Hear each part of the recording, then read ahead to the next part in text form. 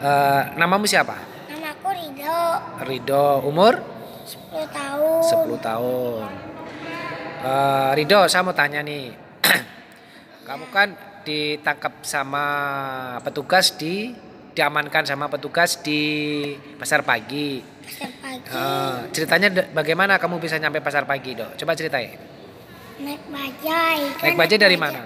Hah, bajai kan dari naik ke pasar baru. Oh, Pasar baru udah nyampe kota kota. Setelah sampai kota apa yang dilakukan Rido? ngamen, Ngamen, apalagi? ngamen mulung. Mulung. Terus dapat duit kan? Dapat, nah Ah, terus beli duitnya, susu, beli duit- kendang, Beli kendang, beli susu. Sama beli makanan, apa-apa? ah, makanan. Makanan. Saya tanya nih Rido, kamu melakukan itu ngamen, mulung itu ada yang nyuruh nggak?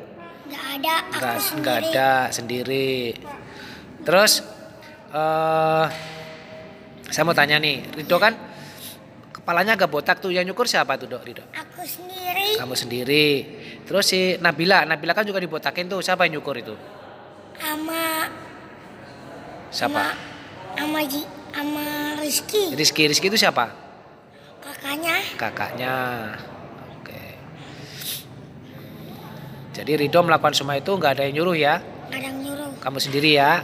Ya, Rido eh, punya bapak ibu nggak?